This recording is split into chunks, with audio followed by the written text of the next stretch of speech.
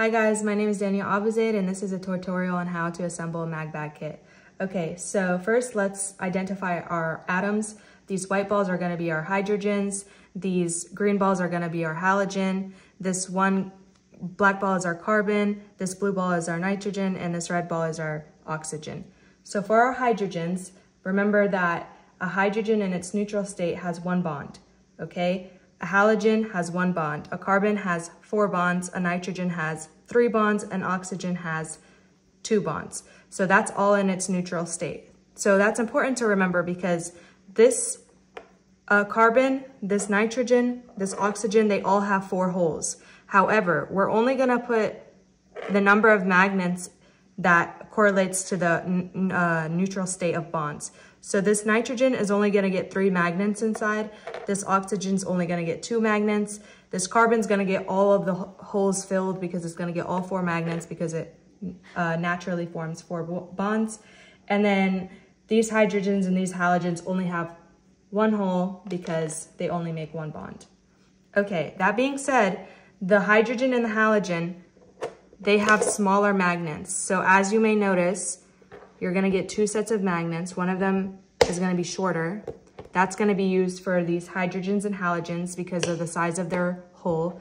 And then these magnets are a little bit longer and um, thicker. So these are gonna be used for the carbon, nitrogen, and oxygen. And I have it written down right here. So your hydrogens, small magnets, halogens, small magnets, carbons, nitrogens, oxygens. You're gonna use your big magnets. Okay, now let's remember that magnets, they have a south pole and a north pole, and that's how they attract. So we want to make sure that these atoms, uh, these atoms eventually are bonded to each other. That means we have to be very careful on how we are placing these magnets inside the hole.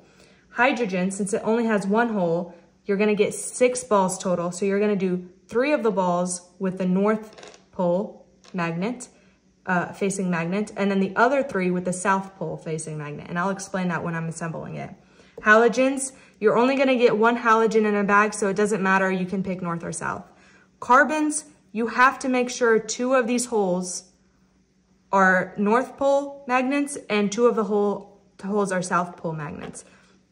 Nitrogens, again, there's four holes total, but we're only filling them with three magnets, three big magnets because they naturally form three bonds. That means we have to have two of the same poles and one different pole. Oxygen, again, four holes, but we're only filling two magnets because naturally it forms two bonds. So that means we're gonna have one hole that's with the north side magnet, north pole magnet, and the other hole with the south pole magnet. Okay, so I put a glove in my hand because we're about to use super glue and I don't want my hand to get uh, messed up with the glue. So I'm gonna grab one of these small magnets because I'm about to assemble the hydrogen. And I'm gonna just put it right here on the plier. And then I'm gonna grab one of the magnets off of it. And I'm gonna stick it up here. And it will attract to the top of this plier, okay? So then I'm gonna put the plier down, grab the hydrogen ball, Put some glue inside the hole.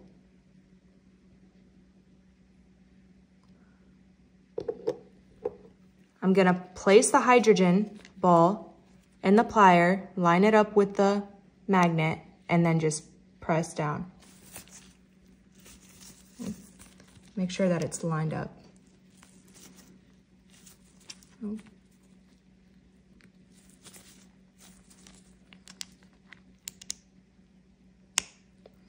Okay, and that's what we kind of want. We want it to be flush against that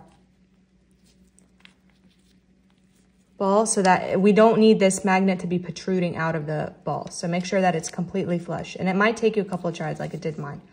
Okay. Okay, and so the halogen is gonna be the same process you use for the hydrogen. So it's one bond. It can be either north or south. It doesn't matter. Okay, now for the carbon. For the carbon, we're gonna use these bigger magnets. And I want you to notice something on the carbon. One of these sides, I don't know if you can see that with the light, but it's gonna be rougher than the other three sides. So there's four holes. One is gonna be rough because that's the printing hole. That hole right there is gonna be difficult to insert this magnet with. So we're gonna start with it first. I'm gonna put the magnets the big magnets on the tip of this plier right here. Then I'm gonna put on the rough side, I'm gonna put some glue because we're gonna start on the rough side.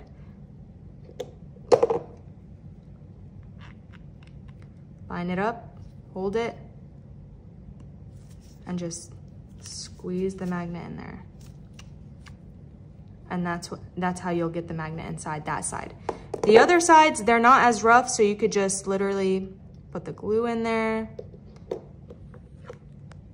put the magnet in there,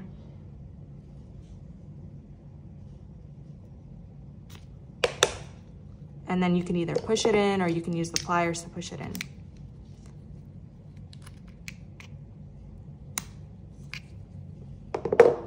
Make sure, this is the most important part, that you're putting two North Pole magnets, two South Pole magnets.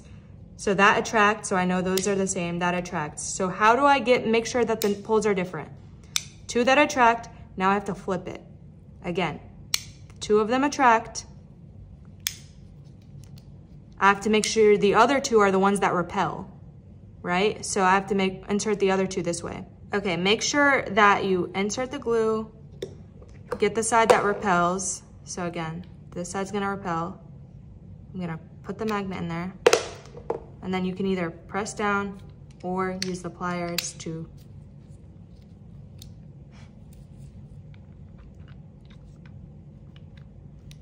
press them down like that.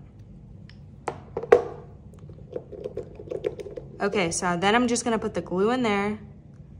Make sure I'm using the magnet that repels, the side that repels.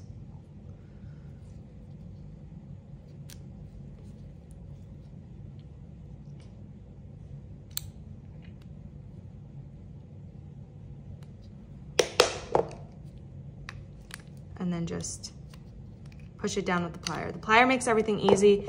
Now I have four sides, two of them repel, two of them attract, okay? We're gonna do the same thing with the nitrogen and the oxygen, except I want you to notice that since the nitrogen, we're only putting in three magnets, two of the same poles. It doesn't matter if the two of the same are the North Pole or if two of the same are the South Pole. Just make sure two are the same, two are different. But because, as you saw right here, the bond that's kind of the most difficult is that rough side, and you're gonna see it when you um, when you get your uh, kit. There's one rough side right here. Avoid this hole. Just go ahead and make the three that you insert the magnets in, go ahead and make it the other holes, okay? Same thing with the oxygen, since we're only inserting two magnets because they naturally only make two bonds, avoid this rough side. Just make sure that the two uh, holes you use are any of the holes except these two